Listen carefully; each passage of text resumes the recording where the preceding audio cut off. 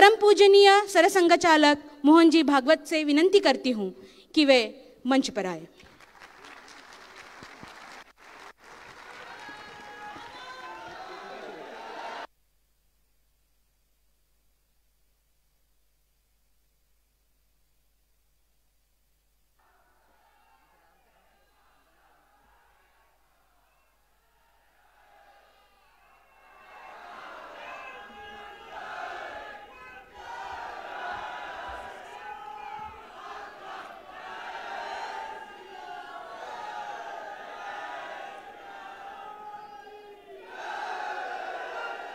इस सभागृह में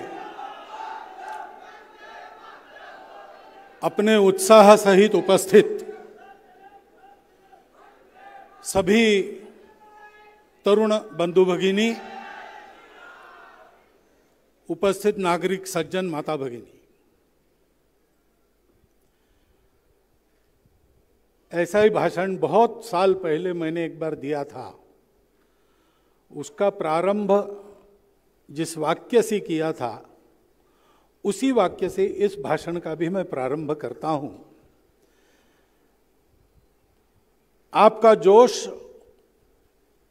बहुत प्रेरक है, लेकिन मैं यहाँ होश की बात करने के लिए आया हूँ।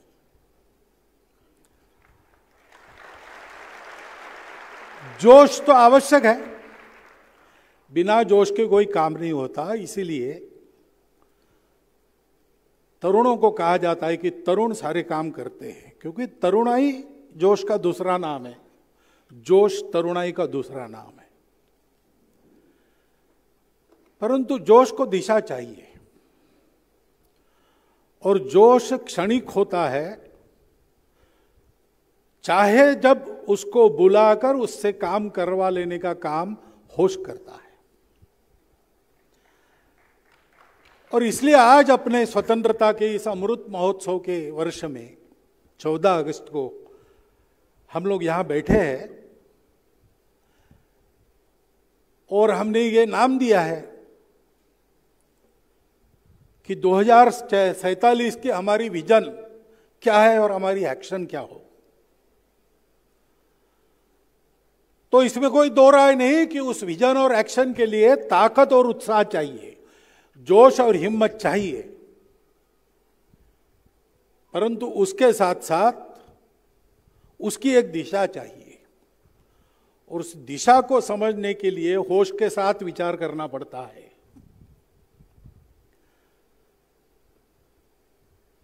हमको दो में भारत को बड़ा करना है। अब अपने आप को बड़ा करना है तो भी बहुत सारे परिश्रम करने पड़ते हैं। यहाँ तो पूरा देश खड़ा करना है तो क्या क्या करना पड़ेगा? हमारे सामने वो सारा इतिहास एक नृत्य के द्वारा प्रस्तुत किया गया। वो जो कहानी है देश को बड़ा करने की, वो हमेशा खून से, पसीने से, आंसुओं से लिखी जाती है। नारे तो उस पर बाद में लगते हैं। पता नहीं उस समय नारे लगे कि नहीं, और इतना तो पता है कि वंदे मातरम के नारे लगे तो अंडमान में जाना पड़ा काले पानी की सजा भुगतने के लिए। नुकसान उठाना पड़ता है। हम अगर ये संकल्प लेना चाहते हैं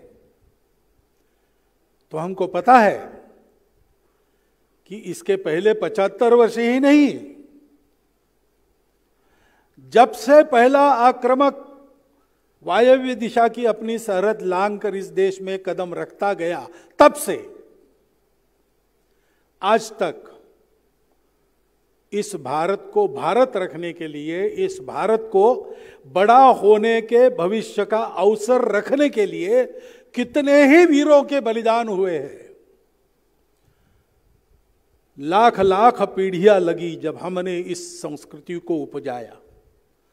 और कोटि कोटि सर चढ़े, तभी इसकी रक्षा संभव हो पाई। उस बलिदान की, त्याग की तैयारी जिनकी है, उनके लिए ये विजन, ये एक्शन है, उनके लिए आज का कार्यक्रम है। जो ये हिम्मत नहीं करते सोचने की भी उनके लिए कार्यक्रम नहीं है। जो केवल अपनी सोचते हैं, उनके लिए कार्यक्रम नहीं है। जो चाहते हैं, मुझे तोड़ लेना वनमाली, देना उस पथ पर पर फेंक। मातृभूमि पर शीश चढ़ाने जिस पर बढ़ते वीर अनेक। ऐसी उमंग जिनके मन में है उनके लिए ये कार्यक्रम है, हमको ये विचार करना होगा। विजन और एक्शन दो की इस पर भाषण देना आसान है। इस काम को करना है तो बीड़ा उठाना है। कबीरा खड़ा बाज़ार में लिए लुकाटी हाथ, जो घर फूके आपनों चले हमारे साथ। कितने ही लोगों ने अपने घर को फूंक दिया, अपने प्राणों की बलि दे दी हँसते हँसते कोई पश्चाताप नहीं था। खुदराम बोस जब फांसी पर चढ़े तो उनकी माता जी थी, सार्वजनिक फांसी हो गई। माता जी भीड़ में खड़ी रहकर देख रही थी। उसके आँखों में स्वाभाविक आँसू थे। खुदराम बोस के मन में क्या विचार है? कवि वर्णन करता है खुदराम बोस कहते, माता, रो मत। अभी जाकर आता हूँ। काम अधूरा है। नौ महीने के बाद फिर तुम्हारे ही उधर से जन्म लूँगा। और इस काम को पूरा करने के लिए फिर जीवन खपाऊँगा ये जोश चाहिए जो होश से निकलता है।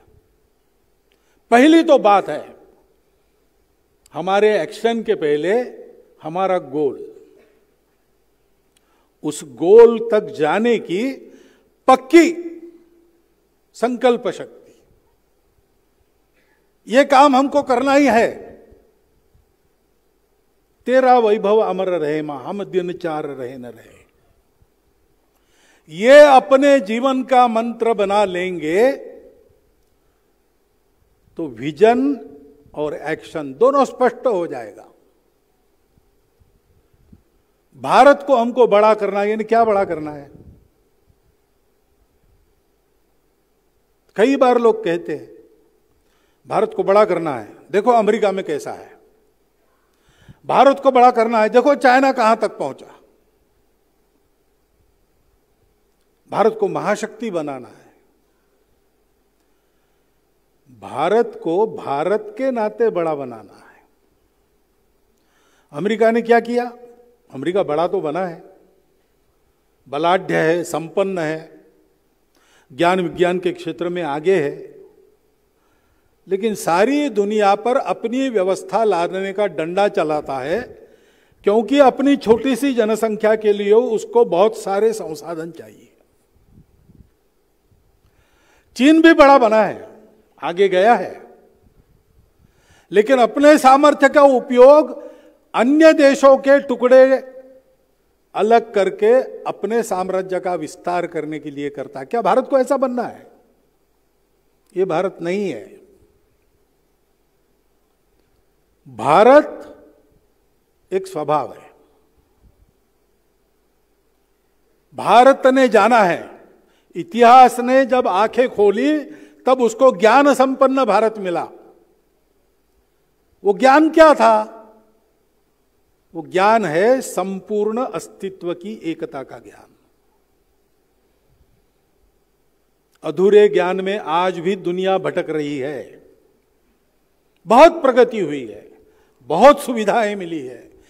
बहुत सारा भौतिक ज्ञान का विस्तार हुआ है, परंतु आज भी कोरोना जैसी बीमारी सारे विश्व को दो साल के लिए पंगु बना देती है।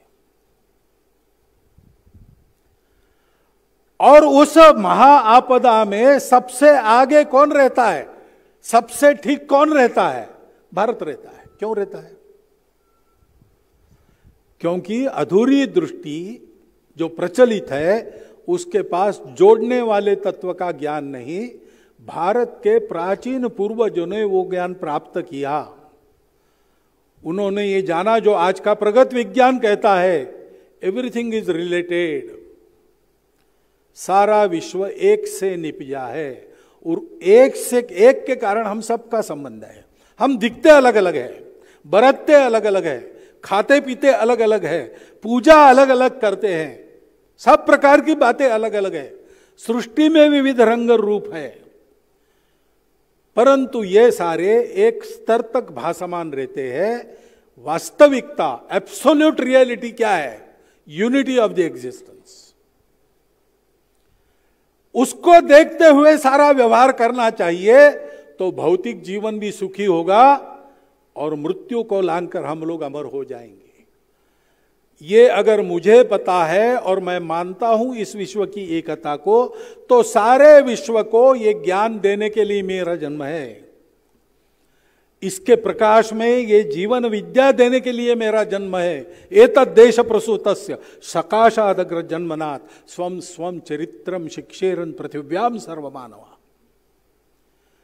और इसलिए आज भी सृष्टि की इन विविधताओं को आपस के कलह में न उलझाते हुए सबको साथ लेकर कैसे चलना, सबको साथ लेकर आगे कैसे बढ़ना?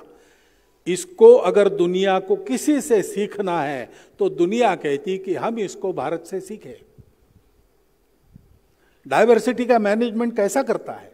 भारत से सीखे। पर्यावरण और विकास साथ में कैसे चल सकते हैं? विकसित भारत की जो अवस्था थी, उसको देखिए। काल सुसंगत, उसका रूप खड़ा करना पड़ेगा। लेकिन उसको देखिए। सब प्रकार की परस्पर विरोधी दुविधाओं से दुनिया भरी है। दुनिया का यही स्वरूप है। उसमें द्वैत है। लेकिन अद्वैत की भूमि पर पक्का खड़ा रहकर, द्वैत की दुविधा को ठीक से चलाना managing the diversities managing the dualities ये कहाँ से आएगा? भारत से आएगा। उसको देने वाला भारत हमको खड़ा करना है। भारत का वो रूप है। भारत का वो अर्थ है। भारत का वो भाव है। अपने संविधान की प्रस्तावना में, अपने संविधान के मार्गदर्शक तत्वों में और अपने संविधान में नागरिक अधिकारों के साथ नागरिक कर्तव्य स्पष्टतया उल्लेखित है। इस बात के पीछे भारत का ही वो स्वभाव है। ये आज की बात नहीं है। भारत कोई दुनिया के पटल पर आज जन्मा हुआ देश नहीं है। अंग्रेज़ों ने जिसको एक किया ऐसा देश नहीं है। आक्रमकों के कारण जिसमें एकता आई ऐसा देश नहीं है। सारे विश्व की अंतर्निहित एकता को जिसने पहचाना और अपने देश की सारी विविधता को उस एक धागे में पिरोकर जिसने एक विश्व गुरु राष्ट्र का निर्माण किया, जो तीन हज़ार साल तक सतत सब प्रकार की वैभव संपन्नता के शिखर पर, सब प्रकार के पराक्रम के ऊँचे शिखर को छूता हुआ, ज्ञान देकर सारी दुनिया को समृद्ध बनाने वाला, किसी को न मिटाने वाला, किसी को न बदलने वाला ऐसा भारत रहा, वो प्राचीन भारत, आज नवे कलेवर में 1500 15 अगस्त उन्नीस के बाद खड़ा हुआ है।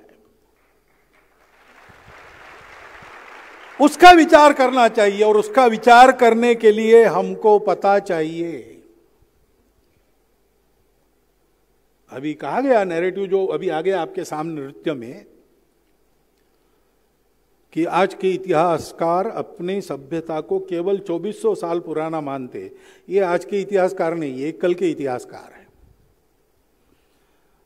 अगर कोई ज्ञानी है इतिहास का या किसी भी शास्त्र का, विज्ञान का, उसको अप टू डेट होना पड़ता है। और अप टू डेट नॉलेज क्या है? राखी गढ़ी के उत्खनन से बाहर आया है कि कम से कम नौ हज़ार साल पुरानी जिसको सिंधु सरस्वती सभ्यता कहते हैं, वो उत्तर, दक्षिण, पूर्व, पश्चिम, पूरी भारतव्यापी सभ्यता थी और ईसा पूर्व नौ हज़ार साल कम से कम पुरानी है। हमको ये सीखना पड़ेगा। अभी ये ज्ञान है, लेकिन हमारे सामने नहीं, हमारे पाठ्य पुस्तकों में नहीं। अंग्रेज़ों ने जो यहाँ परंपरा डाली, उसमें धो गया यह स्मरण। हमको उसको याद करना पड़ेगा, उसके लिए ढूंढना पड़ेगा। पाठ्यक्रम बदलेगा, फिर पुस्तकों में आएगा, फिर हम पढ़ेंगे। रुकने की फुर्सत नहीं है। शीघ्रातिशीघ्र भारत को बड़ा करना है। हमको यह प्राप्त करना पड़ेगा। यह उपलब्ध है। खोजेंगे तो मिलेगा। खोजना पड़ेगा। भारत की वास्तविकता को हमको जानना पड़ेगा। इतना बड़ा भूगोल था भारत का। छोटा क्यों हो गया? संस्कृत का व्याकरण जिस जगह पर जन्मा, वो जगह आज भारत में क्यों नहीं है? है, नहीं है, उसके पीछे किसकी रंजिश है, क्या है, वो बात छोड़ दो। लेकिन कारणों को समझना पड़ेगा। हम इस भारत को भूल गए। हम इस अपने अंतर्निहित एकता के सूत्र को भूल गए। विदेशों के आक्रमक तो बाद में चढ़कर आए। पहले तो हमने ही अपनों को बुला दिया। हमने ही जात पात की दीवारें खड़ी कर दी। जो व्यवस्थाएँ थी, उनको हमने दरिया, जो चौड़ी खाइया बना दिया, जो हमको दूर रखती है। और अज्ञानवश उसी को धर्म मानकर चलते रहे। धर्म के नाम पर कितना बड़ा अधर्म हुआ। शास्त्र में नहीं है। महापुरुषों के उपदेश में नहीं है। हमारे जो आत्मविस्मृति के कारण छोटे अहंकार बड़े हुए, उसके कारण यह हुआ। उन छोटे अहंकारों को हवा देकर हमको आपस में लड़ाने की साजिशे बाद में विदेशियों ने की और स्वतंत्र भारत में आज भी चलती है। वो समझ में आना चाहिए, उससे सावधान होना चाहिए, इसलिए उस भारत को जानना पड़ेगा। जो विश्वगुरु था, जो तपस्वी था, त्यागी था, परम वैभव संपन्न होने के बाद भी सारी दुनिया को खिलाता था। परम बल संपन्न होने के बाद भी किसी को पीड़ा न देते हुए दुर्बलों की रक्षा करता था। यह हमारा इतिहास है, उसको जानना पड़ेगा। जो इतिहास हमको कहता है कि तुम्हारे पूर्वजों ने कोई रण गौरव धन गौरव प्राप्त नहीं किया उनको सिकंदर से लेकर तो अभी तक अपने देश की सीमाओं का उल्लंघन करने वालों के साथ जो कड़ा संघर्ष हमने किया है और पग पग पर विजय पाई है, कभी लड़ाइयाँ हारे होंगे, युद्ध कभी नहीं हारा है। ये जो हमारा इतिहास है संघर्ष का, वो बताना पड़ेगा। कितने ही आघात हमने झेले हैं, कितनी ही परिस्थितियाँ झेली है, हम चलते आए। अमृत पीकर दुनिया मरती लो, अमर हुआ मैं विष पीकर। ऐसा मृत्युंजय हमारा इतिहास है। वो हमको सुनना पड़ेगा, वो हमको समझना पड़ेगा, उसको बताना पड़ेगा। हम अमृतत्व के पुत्र हैं। वो हमारा भारत है। उस भारत के सत्य को जानना, समझना, ये पहली आवश्यक, दूसरी आवश्यक शर्त है। पहली मैंने बताई, इस रास्ते पर कदम बढ़ाना है तो अपना विचार छोड़कर सर्वस्व त्याग की तैयारी रखते हुए चलना पड़ेगा। ये स्वतंत्रता मिली हमको, ऐसे ही नहीं मिली, कितने बलिदान हुए। सब प्रकार के परिश्रम हुए, रणांगण में बलिदान हुए, शांतता में सत्याग्रह भी हुए। लोगों ने तरह तरह से अपने जीवन लगाए किसी ने अपने आप को फांसी पर चढ़ा दिया हँसते हँसते। किसी ने विज्ञान के अनुसंधान में अपने आप को इसलिए लगाया कि इस क्षेत्र में भी भारत का नाम बड़ा होना है। जगदीश चंद्र बसु, क्यों रिसर्च करते थे? रविंद्रनाथ टागोर से चर्चा में उनको यह प्रेरणा मिली। और इसलिए पहला विषय उन्होंने चुना, भारत के सनातन तत्वज्ञान के आधार पर चराचर अगर चैतन्यमय है तो वनस्पतियों को भी प्राण है। उनसे भी बात की जा सकती है। हर्ष शोक की संवेदना वहाँ भी अनुभूति में लाई जा सकती है। ये उनका संशोधन है। बहुत कठिन परिस्थिति में अपनी लेबोरेटरी क्यों चलाते थे? इसलिए कि भारत को विज्ञान के क्षेत्र में आगे ले जाना है। प्रसिद्ध बंगाल केमिकल्स क्यों चला है? वो कोई किसी को केमिकल्स का व्यापार करना था, इसलिए नहीं चला। इस क्षेत्र में भी भारत को आगे जाना है। अपनी बनाई हुई सबसे अच्छी तिजोरी केवल मैं भारतीय हूँ, इसलिए नकारी गई। गोरा आदमी, उसने अपने आदमी को आगे बढ़ाया। ताला मैंने बनाया, वो धुतकार दिया, वो सबसे अच्छा था। भारतीयों का मान व्यापार में भी आगे बढ़े, इसलिए टाटा उद्योग की सृजना हुई और टाटा उद्योग उधर स्थापन हुआ, उसका कारण विवेकानंद है, जमशेद जी टाटा से उनकी जहाज़ पर चर्चा हुई थी। टाटा ने व्यापार किया और इंस्टीट्यूट ऑफ़ साइंस भी खोली, इसके पीछे विवेकानंद की प्रेरणा है। जहाज़ रानी के क्षेत्र में भारतवर्ष आगे आए, इसलिए अपनी सारी जायदाद बेचकर पट्टन स्थानु पिल्लई जी ने एक जहाज़ कंपनी शुरू की थी। अंग्रेज़ों ने अपने षड्यंत्रों के द्वारा उसको डुबा दिया, बात अलग है। लेकिन ये क्यों किया उन्होंने? जहाज़ रानी के क्षेत्र में भारत आगे आए। कितने ही प्रकार से लोगों ने जीवन जिया है, जो जो कुछ करता था, कर सकता था अधिकतम करके उसने देश के लिए समर्पित कर दिया। मरने वाले भी देश के लिए मरे, जीने वाले भी देश के लिए जिए। किसी को पहाड़ उठाने का सामर्थ्य था, उसने पहाड़ उठा लिया। किसी को रेती के छोटे छोटे कण डालने का ही सामर्थ्य था, उसने पूरी ताकत से सारी रेत के कण वहीं डाले, देश के भवन के निर्माण इस वृत्ति से आगे बढ़ना यह पहली बात है। ध्यान रखिए, आज हम उन शहीदों के गीत गाते हैं। आज हम उनके नाम आए तो नारे देते, तालियाँ बजाते। उनकी ये अपेक्षा नहीं थी। उनको ये पता नहीं था। अठारह के वीरों को पराजित होते मिट्टी में मिलते गोरे सोजरों को नष्ट करके, स्वयं नष्ट होने वाले झांसी की रानी को यह पता नहीं था कि एक दिन भारत स्वतंत्र होगा और उस स्वतंत्रता की नायिकाओं में मैं एक हूँगी। वो आकांक्षा नहीं थी उनकी। उनकी तो एक ही बात थी, इस देश के लिए हमको समर्पित हो जाना है। आज वो ग्लैमर दिखता है। इन जीवनों की वो जो दीप्ति है, वो आज हम देख पाते हैं। उस समय उनको उपेक्षा मिली थी। उस समय उनको सहायता नहीं मिली थी। उस समय कितनों को अकेला मरना पड़ा, कितने बर्बाद हो गए। नाम जो जानते हैं हम, उससे कम से कम पचास गुना अधिक नाम जिनको हम नहीं जानते, ऐसे लोग हैं। अज्ञात क्रांतिकारकों के सुदूर जंगलों में किसी को पता न चले, ऐसे अंत्य संस्कार करने पड़े। इस जीवन को हँसते हँसते वर्ण करने की हिम्मत जिनकी है, वो ये कर सकते हैं। और उस हिम्मत के साथ जानकारी चाहिए, भारत क्या है? भारत संपूर्ण विश्व को सबको जोड़ने का मंत्र देने वाला भारत है। भारत भारत सारे विश्व को अहिंसा सिखाता है, उसी समय विश्व की सारी हिंसा का दमन करने का बाहुबल अपने बाहुबल में रखता है। वो क्षमा कर सकता है, वो सजा भी दे सकता है। इस प्रकार का सामर्थ्य उसके पास शक्ति है,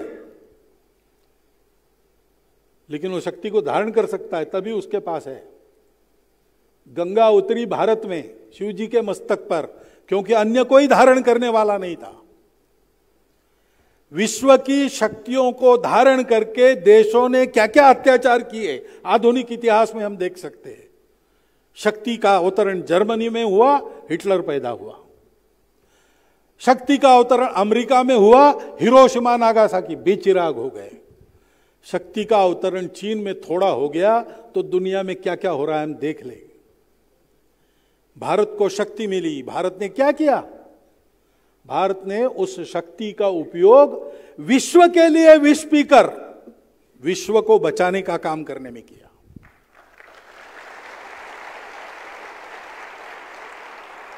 भारत अहिंसा का पुजारी है। भारत दुर्बलता का पुजारी नहीं है। भारत शक्ति की आराधना करता है। मन में उस अहिंसा को धारण करके और हाथ पैरों में उस शक्ति को धारण करके हमको इस पथ पर आगे बढ़ना है, भारत को जानकर चलना है और सोचना है कि क्या करना है। पहली बात है, भारत को बड़ा बनाना है तो भारत का स्वभाव अपना स्वभाव होना चाहिए। पंथ, जाति, प्रांत, भाषा आदि के आधार पर एक एक मनुष्य को बांट बांट कर देखना। जो अलग दिखते हैं, वो एक हो ही नहीं सकते। ऐसा मानकर चलना, ये भारत नहीं है। भारत मानता है, एक होने के लिए एक सा होने की ज़रूरत नहीं। एक होना तो मन की बात है, मन की एकता होती है, समरसता होती है। उसके बलबूते प्रकृति ने जितने भेद रखे, उतने भेदों को साथ चलाओ। बाकी और कोई भेद मानने की या तैयार करने की ज़रूरत नहीं। भारत के अवनति के काल में कई प्रकार की विकृतियाँ ऐसी आई है। अपने मन को पहले उससे मुक्त करना, करके चलना पड़ेगा। उन भेदों के आधार पर स्वार्थ की मांगे उठती है।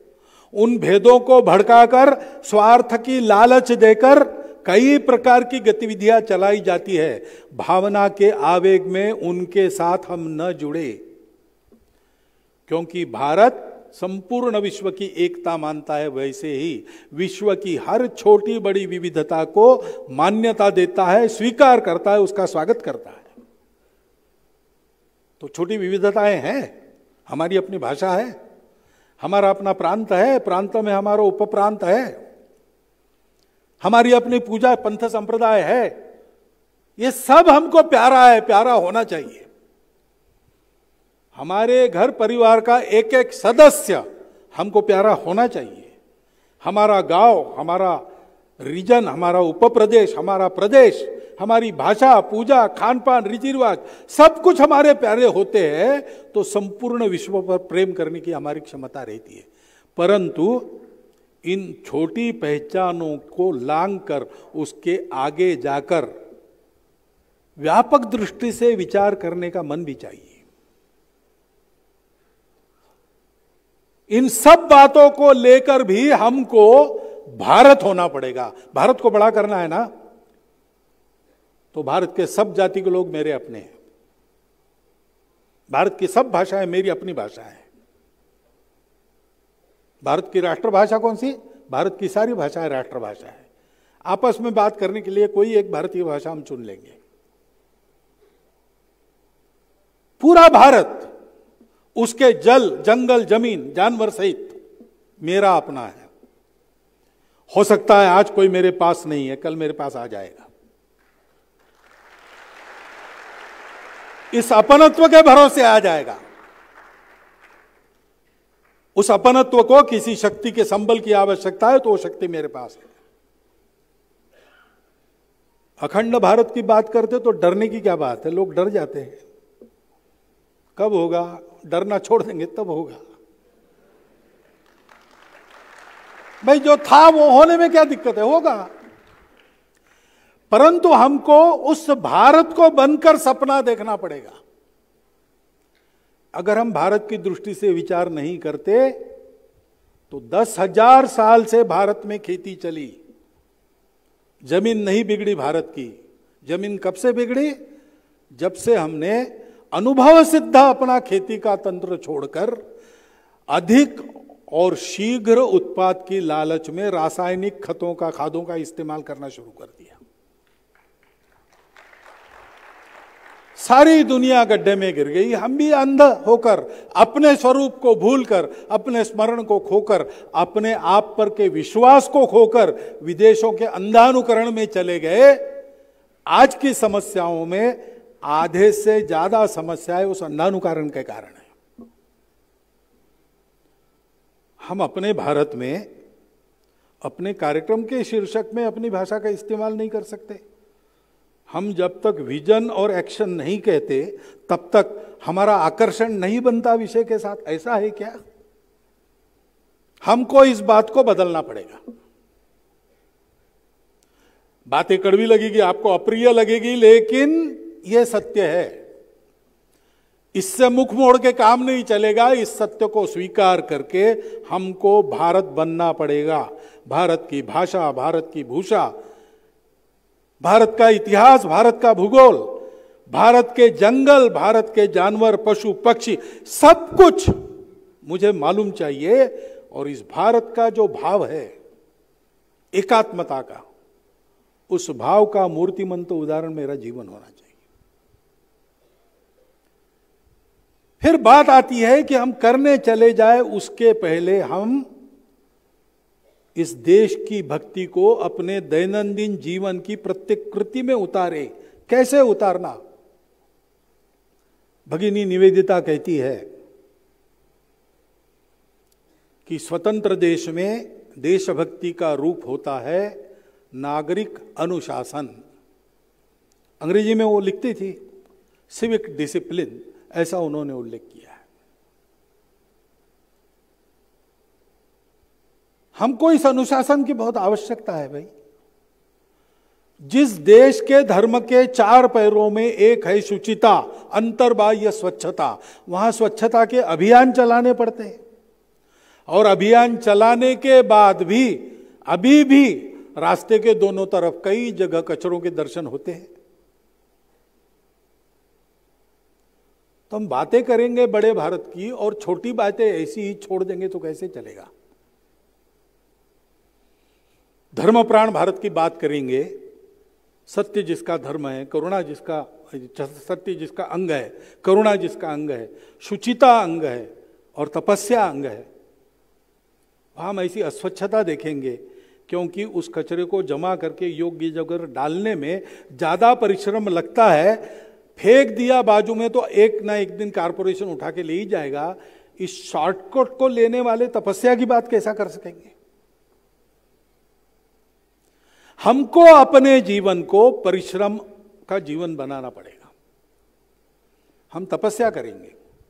किसी भी बात को छोटे रास्ते से नहीं चाहेंगे। जो भी चाहिए, वो पूरी कीमत चुका कर लेंगे। दान में या मुफ़्त मिलता है इसलिए उसके पीछे दौड़ते हुए, ऐसा नहीं लेंगे। परिश्रम करेंगे और अपने आप को अंतर्बाह्य स्वच्छ रखेंगे। ऐसा जब होता है, तब नागरिक अनुशासन का पालन होता है। हर बार अपने देशवासियों का, अपना देश का विचार करके हर कृति को करना यह मेरे लिए ठीक है, लेकिन इसका परिणाम आसपास क्या होने वाला है? मेरे गाँव पर क्या होगा? मेरे देशवासियों पर क्या होगा? मेरे देश के लिए चाहिए कि नहीं चाहिए? इसका विचार करके हर बात को जीना पड़ेगा। आगे चल के यही विचार विस्तारित होता है तो फिर देश की नीतियों में विचार इसका किया जाता है। कि जो भी करना है वो देश के लिए उचित है कि नहीं? जो परंपरा से चलता आया है, उसमें से देशानुकूल कितना है, युगानुकूल कितना है? और जो बाहर से आया है, बाहर से भी आता है, ज्ञान कोई बपौती नहीं है किसी की। सारे विश्व के ज्ञान में से जो आता है हमारे पास, वो देश के लिए हितकारक है तो देश के लिए हितकारक बना के लेना। जो स्वदेशी है, वो युगानुकूल चाहिए। और जो विदेशी है, वो देशानुकूल चाहिए। वो बनाने की बुद्धि तब बनती है, जब अपने जीवन में इस प्रकार की शुचिता और परिश्रम की आदत रहती है। नागरिक नियमों का पालन। समस्याएँ होती है, उसके लिए गुहार लगानी पड़ती है, लेकिन बसेस क्यों जलाना? अंग्रेज़ों के जमाने में हमने सविनय सत्याग्रह किया, जो हमारे शत्रु थे। हमको गुलाम बनाने वाले थे। उनको यहाँ सत्याग्रह नागपुर में हुआ 1920 वाला 21 वाला। तो उस सत्याग्रह में डॉक्टर साहब ने बचाव का भाषण दिया। लेकिन सत्याग्रह का यह था कि बचाव भी नहीं करना। कानून तोड़ना और कानून तोड़ने की जो सजा मिलती है, लेना। ऐसा उस समय हमने किया। हमारे अपने स्वतंत्र देश में हमने चुनी हुई सरकार जिस किसी पार्टी की जहाँ पर हो। अगर कोई गुहार लगानी है तो हम अपने सार्वजनिक संपत्ति को कैसे जलाते हैं? हम अपने बात के पीछे लोगों को जमा करने के लिए उनके सामने किसी शत्रु को क्यों खड़ा करते हैं? स्वतंत्रता के पहले हमको गुलाम बनाने वाले हमारे सामने शत्रु के नाते खड़े थे। शत्रु सामने है तो जोश आता ही है। आज कोई शत्रु नहीं है। तो जोश दिलाने के लिए हम में से ही हम किसी को शत्रु बनाकर लोगों के सामने खड़ा करते हैं। आपस की छोटी पहचानों में शत्रुता ऐसा खड़ा करते हैं उनको। यह सब आदतें छोड़नी पड़ेगी, नागरिक अनुशासन का पालन। इसमें यह भी आता है। जो जो अपने देश के हित के लिए आवश्यक है, करेंगे। हमने बनाई व्यवस्था है। हमारे प्रतिनिधियों ने मिलकर दिया संविधान है। उसका ठीक से पालन हो। वो संविधान इतना उदार है कि अगर हमको लगता है उसमें कुछ बदलना है तो उसी में व्यवस्था है। जिनको करना है, वहाँ का पालन करेंगे। लेकिन संविधान जो कुछ है, आज की तारीख में जो कानून बना है, जो अनुशासन बना है, हम उसका श्रद्धापूर्वक पालन करेंगे। ऐसा जीवन बनाना पड़ेगा। फिर जो भी काम हम करना चाहेंगे, उसको उसको ईमानदारी से उत्कृष्ट करने का सीखना। उत्कृष्ट होना चाहिए। विश्व में उत्कृष्टता की कीमत होती है। कितना ही हमको गुलाम किया गया, कितना ही हमको अपमानित किया गया, हमारे अपने मन में, हमारे पूर्वजों के प्रति हीन भावना भरने का काम हुआ। लेकिन ये जो कुचालों का षड्यंत्र है, बड़ा कुटिल और सर्वत्र विश्व में जो अजेय था, वो हमारे संगीत के सामने परास्त हो गया। संगीत को वो कम नहीं कर सके। आज भी भारतीय संगीत का बोलबाला सर्वत्र है। क्यों? एक उत्कृष्टता के स्तर पर उसको रखा है। वहाँ से नीचे गिराने का की तजवीज हो ही नहीं सकती। हमारे योग को फिर से मानना पड़ रहा है। संस्कृत भाषा की उपयुक्तता, क्योंकि यह उत्कृष्टता के उस स्तर पर पहुँची है, जहाँ से कभी गिरना नहीं होता है। हमको अपने हर काम को मन लगाकर उत्कृष्ट करना सीखना होगा। छोटा काम हो, बड़ा काम हो। अपने देश में करने का हो, विदेश में जाके बताने का हो। ऐसा कहते हैं कि तिलक जी को उनके पुत्र ने पत्र लिखा। कि आप गणित के विद्वान हैं, इसलिए आप चाहते हो मुझे गणित में ही आगे बढ़ना चाहिए। लेकिन मुझे गणित में तो बिल्कुल रुचि नहीं। आप क्यों थोप रहे हो मेरे पर? अगर मुझे जूता सिलाने का काम अच्छा लगता है तो मुझे वही करने देना चाहिए। आप ये क्यों नहीं करते? तो तिलक जी ने उसको उत्तर दिया कि तुम्हारी बात सही है, तुमको जो अच्छा लगता है वही करना चाहिए तुमने। तुमको जूता सिलाने का काम है, तुम करो। मेरा कहना इतना ही है। कि जूता सिलाना, सिलना सीखो तो ऐसा सीखो कि पूना शहर में लोग कहें कि अगर जूता सिला कर लेना है तो तिलक जी के लड़के के पास से ही लेना है। काम छोटा बड़ा नहीं होता। काम छोटा बड़ा नहीं होता है। प्रत्यक्ष निर्गुण निराकार भगवान को सगुण साकार बनाकर अपने हुक्म से सामने नचाने वाले संत कितने ही काम करने वाले होते थे। कोई कुम्हार थे, कोई नाई थे, कोई तो जिनको दुर्भाग्य से अस्पृश्य कहा गया ऐसे थे। कोई बाग बगीचे का काम करने वाले थे। और सब कोई विद्वान दशग्रंथी ब्राह्मण नहीं थे, वो तो बहुत थोड़े थे। अपने काम को ठीक करना, योग कर्म सुकौशलम, इस संदेश का आचरण करते हैं तो। अपने अपने कर्म योग से भी सर्वोच्च श्रेष्ठ तत्व को पाया जा सकता है। यह भारत का संदेश है। इसलिए उसका आचरण करना, जो भी आप कर रहे हो, आप इंजीनियर बनना चाहते हो, उत्कृष्ट इंजीनियर बनो। डॉक्टर बनना चाहते हो, उत्कृष्ट डॉक्टर बनो। लेकिन कर्म की कुशलता में केवल कर्म उत्कृष्ट करना नहीं होता। कुशलता का एक अर्थ है। जैसे गीता में योग कर्म सुकौशलम कहा है, वैसे तथागत ने कुशलस्स उपसंपदा ऐसा कहा है। कर्म करते हैं अपना पेट पालने के लिए, आजीविका प्राप्त करने के लिए, उपसंपदा के लिए। वो कुशल होनी चाहिए, ऐसे तथागत ने भी कहा है। तो कुशल शब्द का अर्थ क्या है? कुशल शब्द का अर्थ है कि वो करते समय दूसरे किसी की हानि न हो। और ये थोड़ा नकारात्मक हो जाता, न हो, उसको सकारात्मक जोड़ देंगे। दूसरे लोगों का भी उपकार हो, वो कुशल कर्म है। तो हम उत्कृष्ट डॉक्टर बनेंगे। हम उत्कृष्ट डॉक्टर है, इसलिए हम जिस बस्ती में रहते हैं, उस बस्ती में स्वास्थ्य उत्तम हो गया लोगों का हमारे कारण तो हमारी डॉक्टरी का उपयोग है। केवल ऊँचा होने से क्या होता है? ऊँचा बया तो क्या बया? जैसे पेड़ खजूर, पथिकन को छाया नहीं, फल लागे अति दूर। ऐसी उत्कृष्टता किस काम की? अटल जी तो प्रार्थना करते, हैं प्रभु, मुझे इतनी ऊंचाई मत देना। कि मैं किसी घास के उगते तिनके से बात न कर सकूँ। इतना दूर मत करना कि मैं अपनों से ही दूर हो जाऊँ। हमको उत्कृष्ट होना है और हमको उपकारी होना है। उपकार यानी अहंकार नहीं जीवन का ये मंत्र है अपने यहाँ आत्मनो मोक्षार्थम जगत हिताय कर्म ऐसा करो, उत्कृष्ट कर्म करो तो आपके कर्मयोग से ही आप वहाँ तक जाओगे।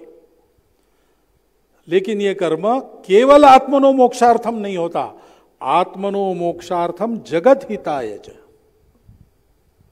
एकांत में उसकी साधना, लोकांत में परोपकारी जीवन।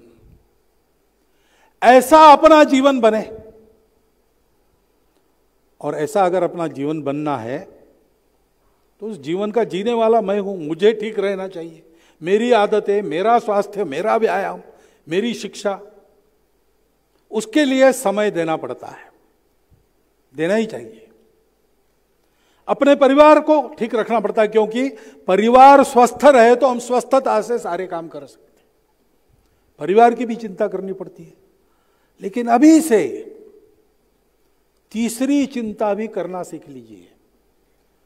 रोज मेरे लिए मैं समय देता हूँ। अभी मैं कमा नहीं रहा हूँ तो मेरे पिताजी, माताजी कोई ना कोई पैसा खर्चा कर रहे कमाई भी जाती है रोज, मेरे लिए। मेरे परिवार के लिए भी ऐसा ही होता है, होना ही चाहिए।